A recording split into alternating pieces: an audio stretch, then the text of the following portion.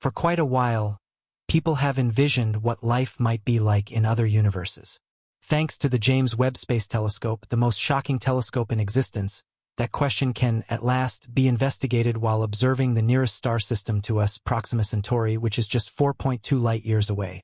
Researchers have noticed a few extraordinary eccentricities from one of the planets in the system, Proxima b. These eccentricities, called artificial lights, have perplexed the best minds in the field of science. At any rate, what are they? Do these lights suggest the presence of intelligent life? Join us as we examine the James Webb Space Telescope's unsettling discovery of city lights that could change everything. The only life that we are currently aware of is on Earth. Since the beginning of human civilization, people have wondered whether there is life elsewhere in the universe. To answer such an interstellar question, American cosmologists Jill Tarter and Thomas Pierson launched the search for extraterrestrial intelligence, SETI project in 1984. The primary goal was to gather spaceborne radio transmissions. Radio waves can travel farther and are, therefore, more likely to be detected by the 42 radio telescopes that make up the extraordinary Allen Telescope Array in the California lower region mountains. However, for over 30 years, no notable extraterrestrial signals had been found. Following that, the James Webb Space Telescope's successful launch assisted the effort to examine a range of invisible planets orbiting distant stars. As the largest telescope on the planet, drifting about 1 million miles from Earth and equipped with highly sensitive detectors, it has the potential to uncover massive revelations. A few decades ago, there were no known planets outside our solar system. However, since then, more than 4,000 exoplanets have been discovered orbiting different stars. As outlined by NASA, the universe could contain trillions of exoplanets. The earliest indications of something happening far beyond our solar system might be seen in extraterrestrial vegetation. The Galileo spacecraft, on its way to Jupiter, turned its instruments back toward Earth and saw a clear sign of the presence of plants, recognizing the vegetation red edge, a biosignature, a blend of red and infrared light reflected by plants. For example, a planet like Earth, covered in wild vegetation, should have a marked area of strong signals easily recognizable. The JWST will measure the VRE vegetation red edge of faraway, Earth-like planets in the habitable zone around stars, which could provide critical indications of something occurring in the exoplanet's atmosphere. When light crosses a planet-star boundary, the JWST may be able to detect it as it enters the planet's atmosphere. The missing frequencies would then be visible through spectroscopy as particles and molecules in the air absorb specific frequencies, creating a characteristic fingerprint that the JWST can recognize. This method could be used to determine the composition of the atmosphere and whether life is possible. Life could exist on Earth-sized planets with atmospheres like our own, characterized by a mix of oxygen, nitrogen, and carbon dioxide. By searching for elements that aren't typically present, one might even detect intelligent life. For instance, chlorofluorocarbons, CFCs, made for use in refrigeration and cleaning products, would almost certainly be detectable by extraterrestrials studying Earth's atmosphere from a distant location. If the JWST finds CFCs in planetary atmospheres, it could indicate the presence of life. However, life on exoplanets likely won't resemble life on Earth in any capacity. In some cases, even typical living organisms like extremophiles, species that can survive in conditions where other living things would die, may appear alien. This group of life forms, mostly microorganisms, can survive extreme conditions such as temperatures up to 250 degrees Fahrenheit or strong acid with pH levels below 3. Since planets are more likely to support life if they don't have extreme temperatures or acidic conditions, it may be wise to start with those first. Prime candidates could have temperatures that allow liquid water to exist on their surfaces and orbit a stable star. Our Sun is a yellow G-type star. These stars are rarer and usually have shorter lifespans.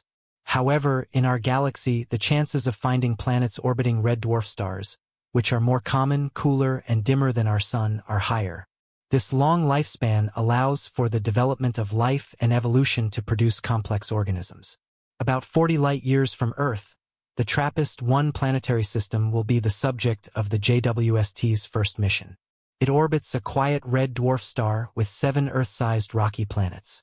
Three of these rocky planets, situated in the so-called habitable zone, could have liquid water on their surfaces. Despite its smaller and colder mass compared to our Sun, the TRAPPIST-1 star emits light like Earth's, which is sufficient for the close orbit of its planets. The most likely opportunity to observe city lights outside our nearby planetary system is Proxima Centauri. A red dwarf star that is 4.25 light-years from the Sun Proxima is generally fainter than the Sun, so a planet would need to be much closer to it than Earth is to the Sun to support life based on liquid water. In August 2016, astronomers discovered a planet with 1.3 Earth masses in this habitable zone a Goldilocks-like zone where the light intensity is perfect for liquid water. Proxima b orbits Proxima Centauri, but the fact that Proxima b is tidally locked makes it a potentially airless, dead planet. Since it orbits its red dwarf star just 4.6 million miles away, this close orbit exposes it to strong solar winds that can strip away its atmosphere. However, Proxima b receives enough light for temperatures and liquid water like those on Earth. Due to its proximity to the star, Proxima b is believed to be tidally locked, meaning it always shows the same side to the star, much like the Moon does in relation to Earth. Proxima Centauri is about 18% the mass of the Sun and emits much less light than one might expect for a planet so close to the star, about 5% of the Sun's power. This would seem like a desolate wasteland, but liquid water could exist on Proxima b if the planet has an atmosphere to retain heat. Since the total energy arriving from the Sun is only 65% of what Earth receives, the planet is not particularly favorable for life. It is likely tidally locked, meaning it always faces the same side toward the star, creating a permanently hot side and a cold, dark side with extreme temperature variations. The planet also receives about five times the high-energy radiation that Earth does, including X-rays and ultraviolet light, due to its proximity to Proxima Centauri. Proxima b is also bombarded with high-energy particles during stellar flares.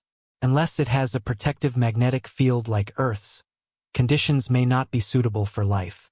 Despite these harsh conditions, Proxima b may still be a more habitable world. Unfortunately, models suggest that the atmospheres of tidally locked planets may be prone to rapid erosion due to the freezing out of volatile gases on the night side. Earth's atmosphere can be replenished by volcanic activity, and for planets with strong magnetic fields, their atmospheres are less likely to escape. Since we know nothing about Proxima b's volcanic activity or magnetic field strength, we cannot even speculate whether the planet has an atmosphere. However, since an atmosphere suggests the possibility of life, we are eager to learn if Proxima b has one. It could have solar panels on the day side to generate power to light and heat the night side, which would otherwise be too cold and dark for habitation. The discovery of Proxima b has sparked a race to determine if it crosses its star's face as seen from Earth. These transits would allow researchers to determine the planet's size and mass, which would help them assess its density and confirm its rocky composition, providing information on the materials used to form those rocks. During a transit, starlight could reveal the planet's nature by passing through its atmosphere. However, the chance that the orbit will be aligned perfectly so that researchers can observe a transit is only 1.5%. The star's tendency to erupt further complicates matters. Astronomer David Kipping of Columbia University says the star is unstable, as stellar heat causes a rocky planet to absorb sunlight and re-emit it as infrared light. However, rocky planets produce a specific type of infrared radiation from stars like Proxima Centauri. Moreover, the James Webb Space Telescope design was specifically intended to detect infrared light. Proxima b's infrared signature is crucial for detecting the planet's atmosphere. Additionally, the JWST's infrared capabilities, which surpass those of the Hubble Space Telescope, could allow it to detect city lights on the night side of the planet, even if they are as faint as those currently used on Earth. The JWST could detect artificial lighting as long as it is confined to a frequency band much smaller than the star's light. Proxima b's dayside might be heavily covered with solar panels, reflecting starlight. As Proxima b orbits its star continuously, the constantly different sides have extreme temperature differences between them. The temperature contrast between day and night depends on whether the planet is made entirely of bare rock or if air and water circulate heat. If there is no atmosphere, Proxima b's day side and night side temperatures will vary more, as the day side will release all the energy it gets from Proxima Centauri as infrared light. The night side would resemble a frozen wasteland. If the temperature difference between day and night is less pronounced, we can estimate that future space exploration and the search for life beyond Earth hold enormous potential. The James Webb Space Telescope, JWST, may be the key to finding extraterrestrial life in the universe. As the JWST searches for exoplanets, it will ultimately shed light on the possibility of city lights far beyond the stars. As we continue to explore the cosmos, it's crucial to consider the limitations of our current technology. While the JWST is an incredible advancement, it is still only the beginning of our journey into deep space exploration.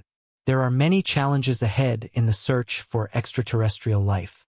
Atmospheric conditions, stellar activity, and the vast distances involved mean that we may not always get clear or definitive signals from distant planets.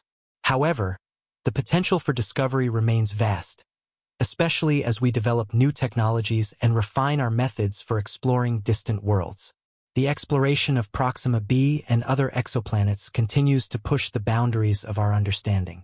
Each new discovery, whether it's a planet with signs of water, a potentially habitable atmosphere, or even hints of artificial light, brings us one step closer to answering the profound question of whether life exists beyond Earth. With the capabilities of the James Webb Space Telescope, we may soon be able to see far beyond the confines of our solar system, looking for signs of life and perhaps even civilization in the distant stars. In the coming years, as the JWST continues its mission, we will gain more insight into the atmosphere and composition of planets like Proxima b. The telescope's ability to detect infrared signatures and its unprecedented sensitivity to faint signals could help us uncover not just the presence of water or an atmosphere, but signs of life, whether microbial or intelligent. It's a thrilling time for space exploration, and the potential for new discoveries is almost limitless.